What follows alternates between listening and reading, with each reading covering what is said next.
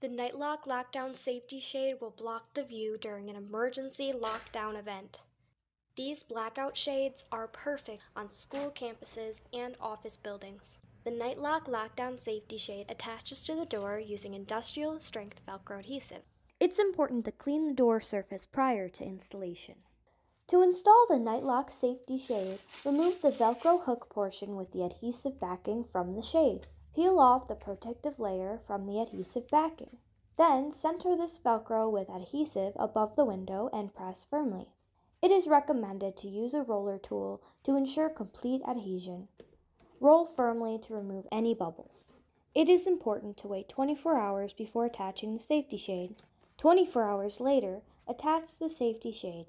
Again, use the roller tool to completely connect the Velcro. Roll firmly.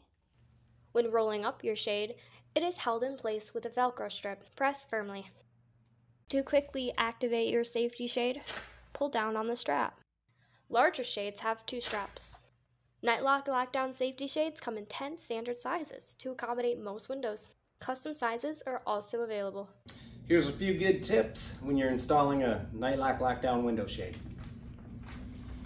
Make sure the surface is dry and clean the Velcro hook with the adhesive backing uh, that comes with every shade goes up first. And what you want to do, you want to start peeling from one end.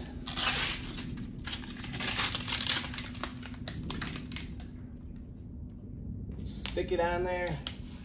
Just lay it as you go, a little at a time, nice and straight. Try to cover the window frame as much as you can.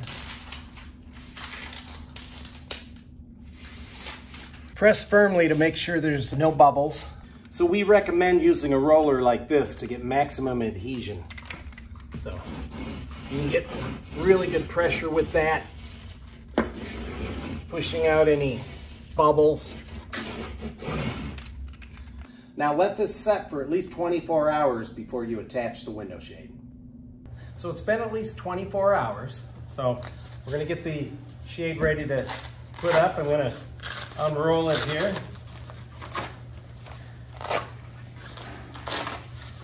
And stretch it out all the way.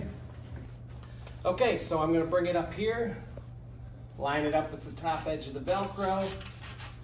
I'm holding this side out while I do it, and then that way I get it nice and even across the top. And most important is pressing it really well. The best way to get that hook and loop pressed together is with a roller. And just roll it up nice and straight.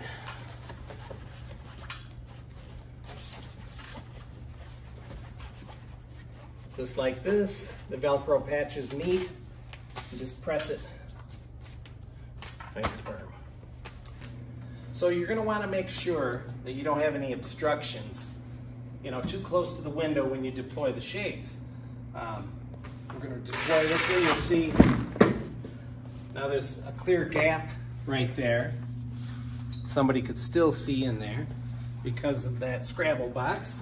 Now if you have something like this file cabinet too close to the window, it's gonna stop the shade. So you wanna keep them, you know, four or five inches away from the window.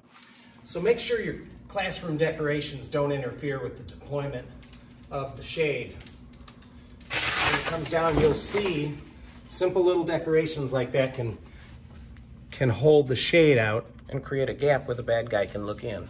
Check out the Nightlock Lockdown Safety Shades at nightlock.com.